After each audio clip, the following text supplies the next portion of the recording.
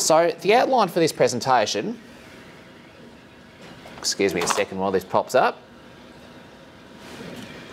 So the outline, firstly, I'm not sure how many of you know about the anterior cruciate ligament, so I'll outline what it does and the consequences and treatment of such injuries.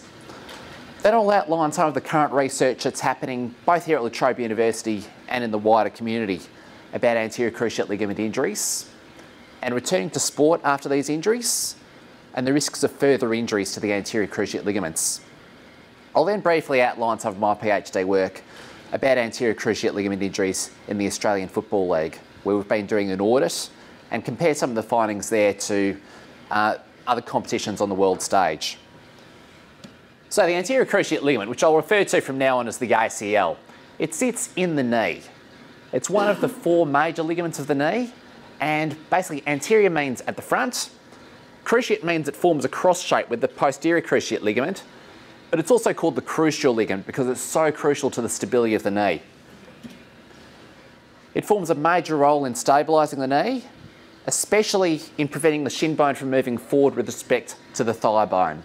It also prevents excessive rotation movements of the knee.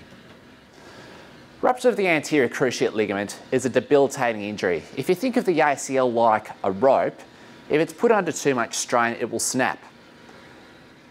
These forces commonly affect participants in sporting pursuits.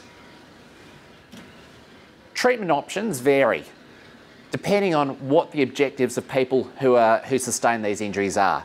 Non-operative treatments might be acceptable for those who have got lesser demands on their knees. But for those who are hoping to get back to high demand sporting pursuits, the treatment of, uh, of main is surgical treatment, namely anterior cruciate ACL reconstruction. So that involves um, a bit of robbing Peter to pay Paul. Basically, what's typically done is that some tissue is taken either from the hamstrings at the back of the leg or from the patella tendon, which sits at the front of the knee. Some of that is removed and basically put in drill holes that are placed inside the thigh bone and the shin bone, the femur and the tibia. And this aims to replicate the function and stability of the native ACL. Patients' goals and expectations may vary vastly after ACL reconstruction. Some may be happy just to get back into, into daily activities, whereas, others may want to resume high level, even professional levels of sport. Unfortunately, it's not a perfect operation and bad things do happen. Sometimes a graft rupture occurs, which is a dreaded consequence. Another possibility is a further ACL injury to the opposite knee. So some of the trends in ACL research at the moment, what we've been noticing across the world is that there is increasing incidence of ACL reconstruction in younger patients. So that's been reported in various studies. And in New York State, for instance, we've seen a great acceleration in the rate of ACL reconstructions, particularly in those aged 15 to 18 years old. So that graph demonstrates there how those that are 15 to 18 years old have not only uh, undergoing the most ACL reconstructions, but their rate of undergoing ACL reconstructions is also increasing at the greatest rate. So what is a younger patient? Well, definitions vary depending on which study has been performed. We might talk about those who are skeletally immature. That means that their bones have not finished growing and that they have plates at the end of their bones where uh, softer bone or cartilage is maturing into harder bone. If we're performing ACL reconstruction on these younger patients who are not skeletally mature, we often have to change the surgical techniques to prevent damaging these growth plates in the bones. Other definitions include those that might be less than 18 years old or less than 20 year, years old or perhaps even less than 25 years old. Typically these patients are skeletally mature if they've reached that age. We also know that typically younger patients are highly active and after such an ACL injury they want to resume their sport participation after undergoing ACL reconstruction. So they've got high demands and high goals after their surgery. So the first question that has been raised is, does ACL reconstruction allow younger patients to successfully return to sport? And what is the return to sport experience of those younger patients who undergo surgery? If we just look at various studies that have looked at rates of return to sport, so after an ACL injury and subsequent reconstruction, do these patients go back to playing the same sport that they did beforehand, or do they go and do something else? Various studies have looked at those that did return and those that didn't, and compared to the age groups of those two groups. So we've seen in various studies um, approaching statistical significance being the differences in ages. So those that do return are approaching a significantly younger age than those that did not return. If you combine those studies in a meta-analysis, you would find statistical significance, indicating that those who are younger return to sport more frequently than those who are older. Also, some individual studies that have looked at younger patients. So, a study by Mas Mascarenhas and all, 72% of those aged less than 25 years returns to strenuous sport. Whereas, if you look at it, uh, look at their pre-injury level sport, only 50% returned.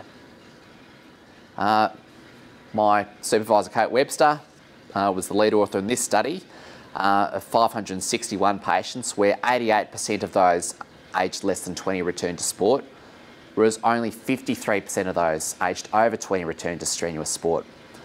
And a study up in Sydney found that 88% of those aged less than 18 returned to their pre-injury level sport, uh, and 15 years down the track, still two thirds of those were participating in strenuous sports. So that they were the ones who had reconstructions at young ages and they're still performing quite well many years later.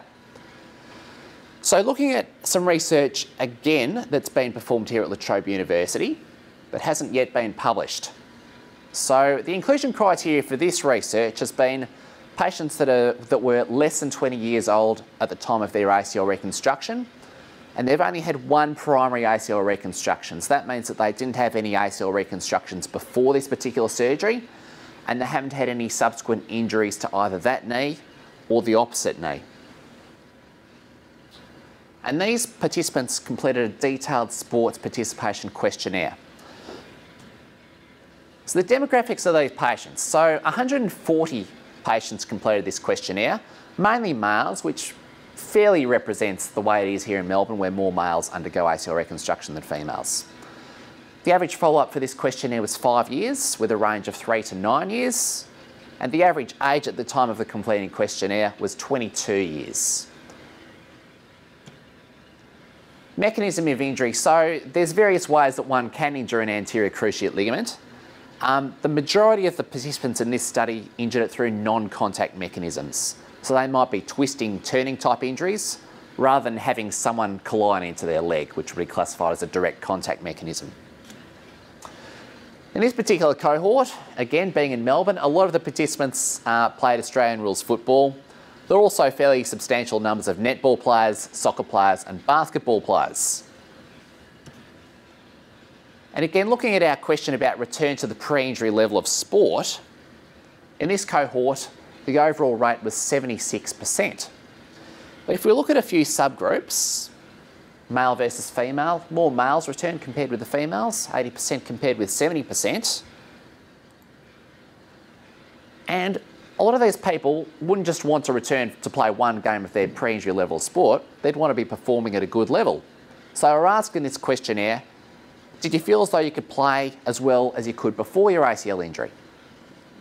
And you'd expect these numbers to be a bit lower, but overall 65% of them rated their performance to be at least as good as it was pre-injury. If we look at those that were continuing to play sport at the end of the questionnaire with a mean follow-up of five years, so some of them might have come back to play sport but subsequently decided to stop. Overall 66%, Again, more males than females uh, continuing to play sport at five years.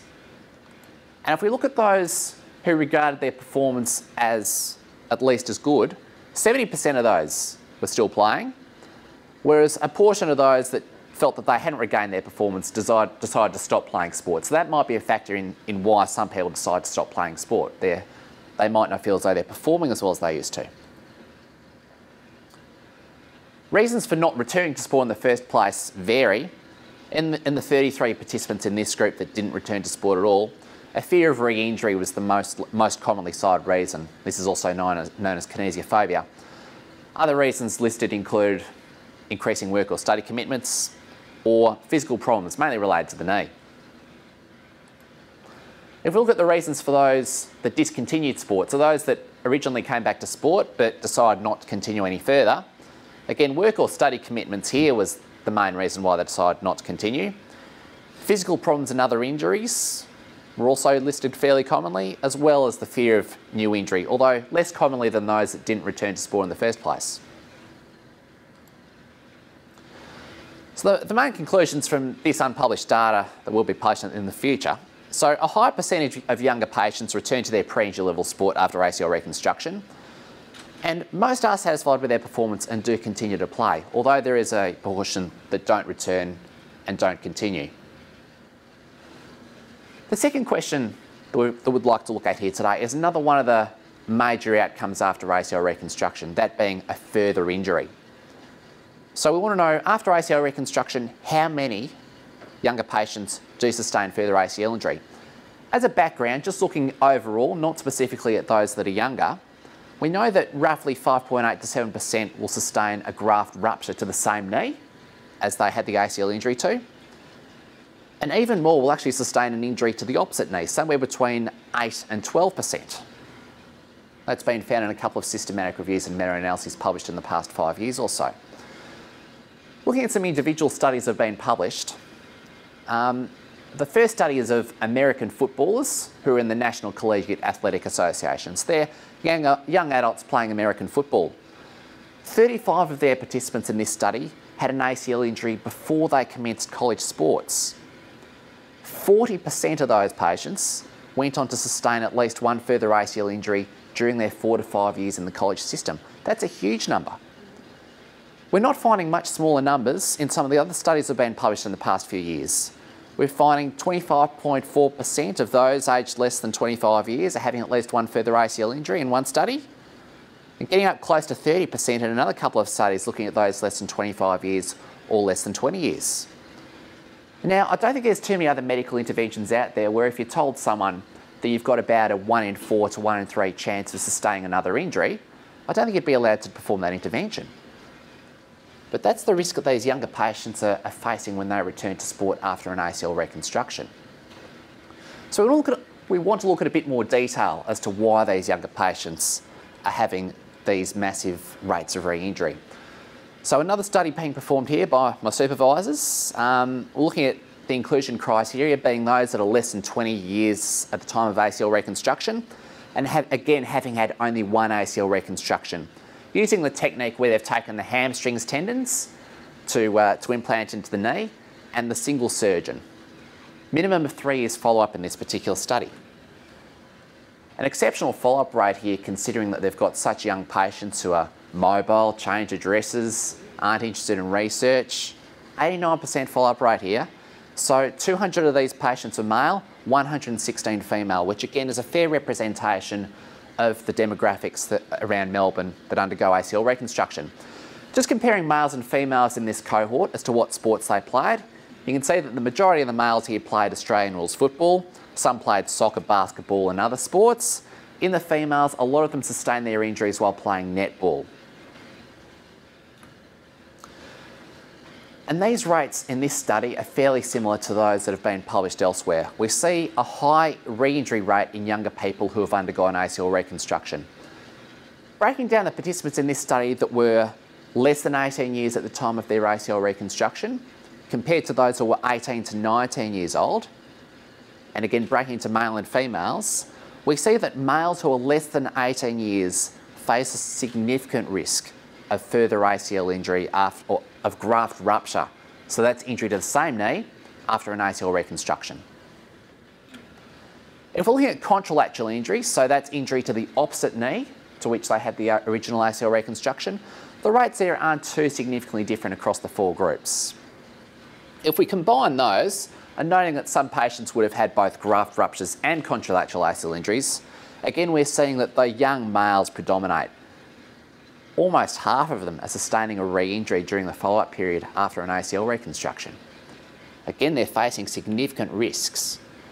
So overall, graft ruptures, 57 out of the 316 participants sustained a graft rupture at a mean of 1.8 years after their ACL reconstruction.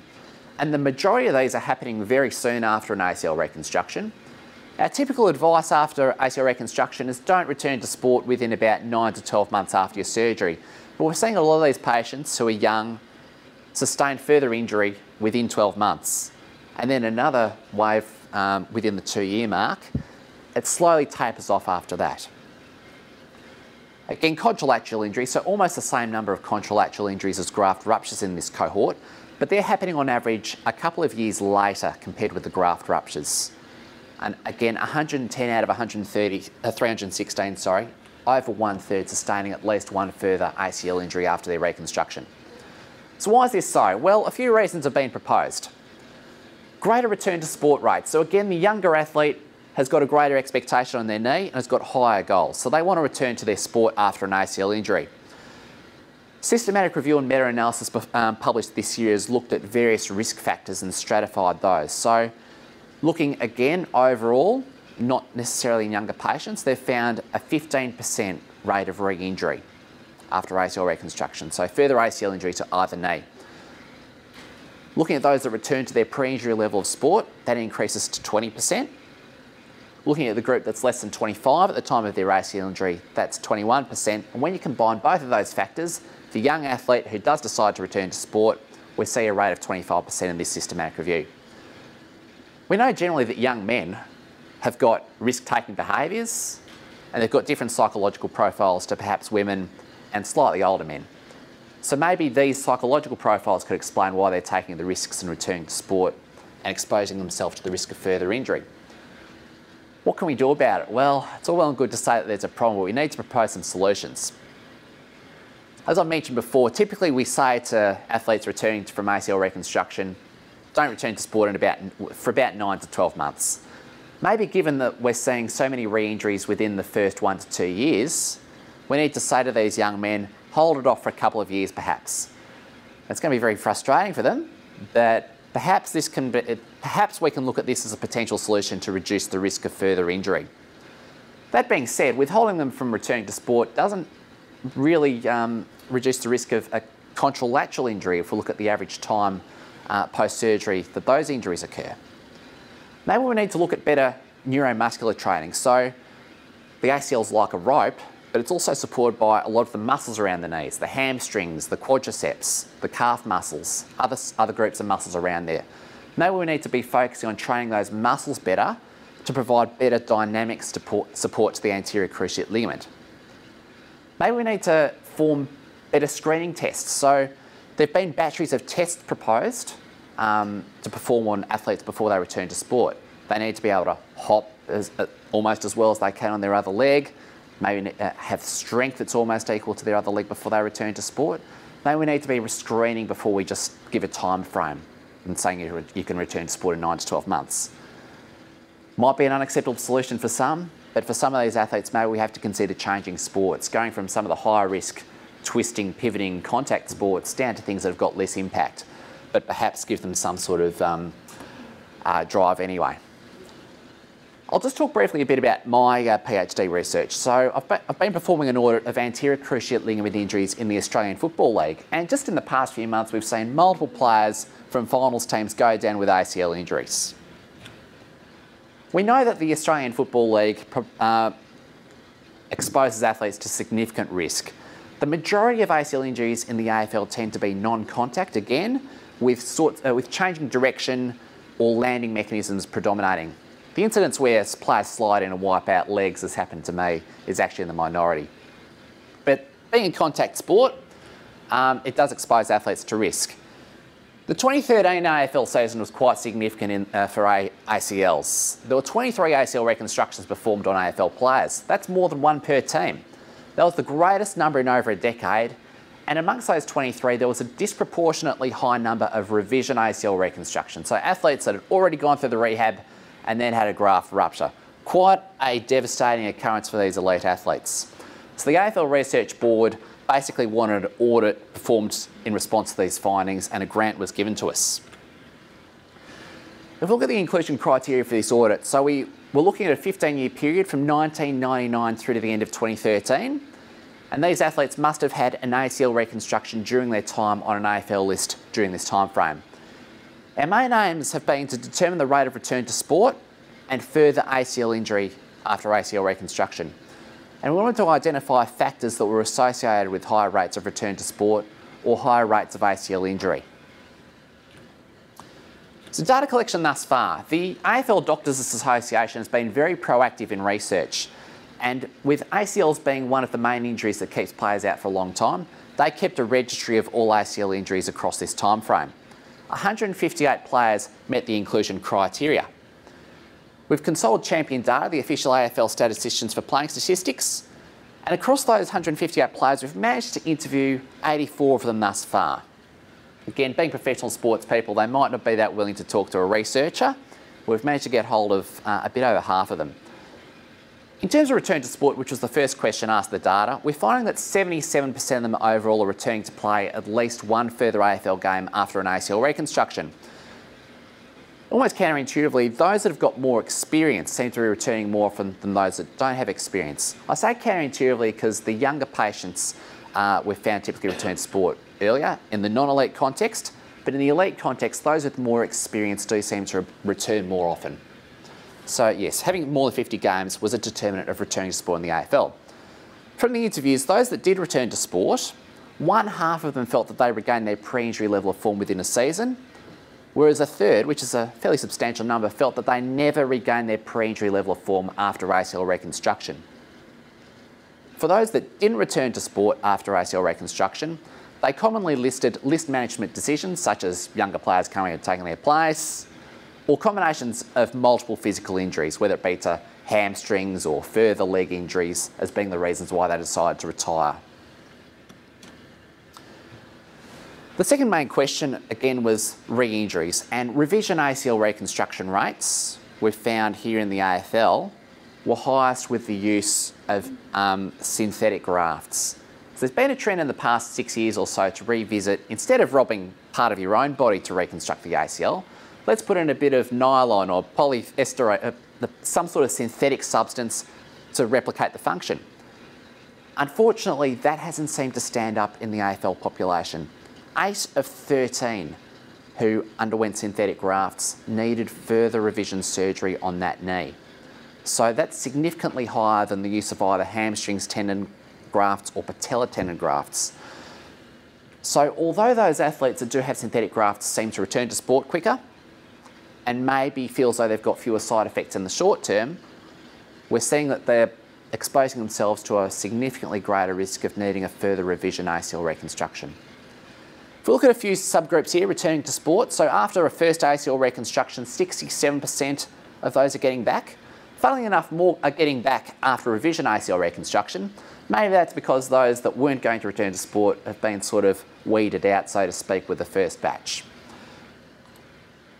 Mind you, the numbers seem to make more sense when you look at those that have had a further revision ACL reconstruction, whereas only 38% of those that get back. And also, Contralateral ACL injury seems to be a greater risk to not returning to sport than having a revision ACL reconstruction. Only half of those that underwent contralateral ACL reconstruction um, got back to sport. And just comparing this to the world stage, I've performed a systematic review and meta-analysis of elite athletes across the world. Uh, so the primary aim was to determine the rate and return to pre-injury level of sport following ACL reconstruction in elite athletes. And like all systematic reviews, we, we used a very thorough search strategy. So overall, the rate of return to sport in elite athletes across the world is about 83%, which is perhaps slightly higher than what we're finding in the ACL, but not significantly so. That was based on 24 studies across 1,272 elite athletes. And if we break those down into just the football codes, again, we're finding very similar rates. So the AFL is in that ballpark compared to the world stage. So that's the summary of what the ACL is, what ACL reconstruction aims to do, what we're finding in the younger patients, and what I've been finding so far in the AFL context. Thank you very much.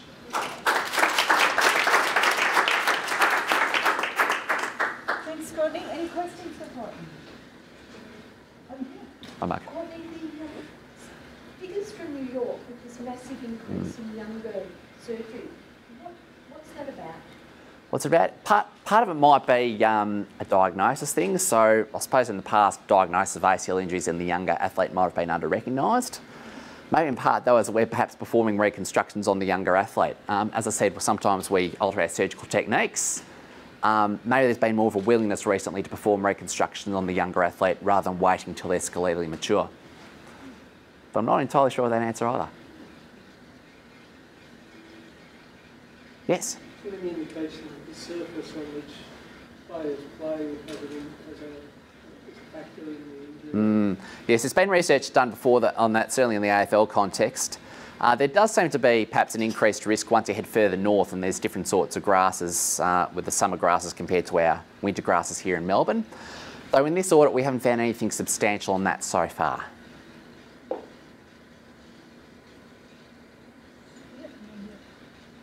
Um, just wondering about gender differences. Um, in the Australian soccer community, there's a very high perception that among female soccer players, there's a very high rate of ACL injury. Mhm. Can you, do you know whether this is objectively true, and if so, why that might be? Mm. Studies have reported an increased risk of ACL injuries in females when they're participating in the same sports as males. So if you compare female soccer players and male soccer players, yes, females are probably at a greater risk, anywhere between maybe one and a half up to even up to six or more times the risk. Um, reasons for this vary. There's biomechanical differences between males and females, different shapes of the pelvis, um, different angles that they land at. Maybe there's different uh, ways that um, they also compensate when they land. Things like the hormonal cycles have been looked at. I don't think anything's been um, exclusively proven there as to whether things happen at different periods of the menstrual cycle. But yes, females are at a greater risk when participating in the same sports. I thought it was really interesting that you mentioned the musculo, neuromuscular rehabilitation Mm. side of things really briefly. Um, because, and then you, you mentioned the fact that young men tend to be risk taking, but they're also typically not risk preventers. So doesn't the fact that a lot of them wouldn't do their rehab in terms of physio, wouldn't that be factoring into their rates of, of lack of success? Yes, undoubtedly. Undoubtedly it would, yes. If they don't go through their rehabilitation training program, that would put them in increased risk. Whether they do it less than females, I'm not sure. But wouldn't that be something that would need to be factored into the study to see whether that was impacting on the Mm. re-injury and so on? So you're probably looking at a, a reported rate of compliance with rehabilitation. Um, again, it's a good question. I don't know how accurate you how accurately you get young man. Yeah, brother or son who had absolutely. These done and did no rehab whatsoever and still has a sore neck. Mm. So I it does impact. mm, no doubt.